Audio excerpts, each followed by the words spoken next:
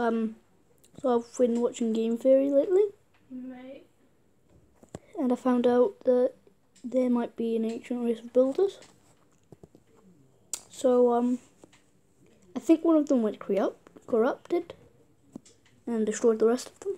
And the way out, the way out of it, left them there. I think it's Herobrine.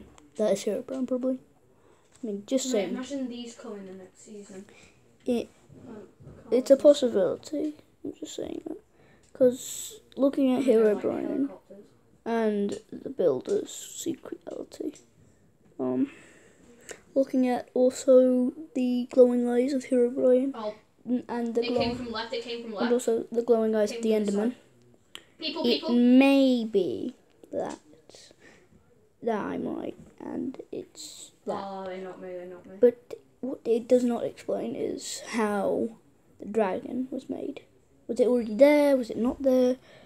There's still questions that they're not really bothering to answer yet. Um, but I think people should be able to find out eventually. Also, according to this um, theory, they were ancient builders, so they and also tampered with creating life. So that means they might have created the dragon and Um, the all of the creatures in Minecraft. Looking also at the new update, I see this as being a higher possibility now. Um, I didn't believe in it Oh, last no. time, but whatever. now I do. Also, the iron golems are probably the creation of the builders. The the pigmen, the the warden, all of those are probably just creations. They're probably not living.